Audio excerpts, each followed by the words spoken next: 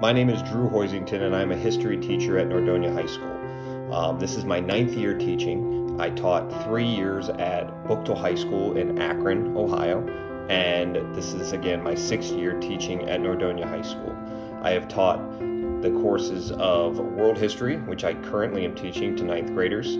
I've taught U.S. History to 10th graders for three years at Buchtel High School, and I've also taught a year of AP US History at Nordonia High School a couple years ago.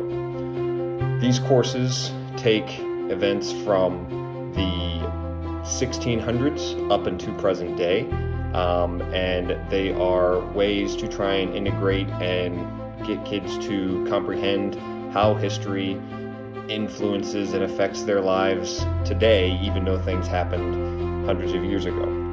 Um, I use several different strategies in trying to communicate those ideas um, through collaboration, discussion, etc. Um, it's a way to try and engage the kids in history and get them to work with primary, secondary source documents and all other facets that come to being a historian. Um, I also coach at the high school. Um, I coach baseball.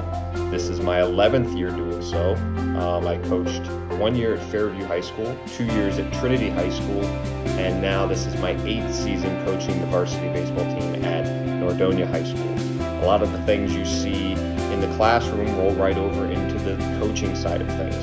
And I use a lot of the strategies to communicate with players, relate with players, and help them understand the game of baseball and how it relates to their everyday lives um, building these young men into people that will contribute in our day-to-day day-to-day society is something that I pride myself on, um, and building those relationships to have lifelong friends in the future.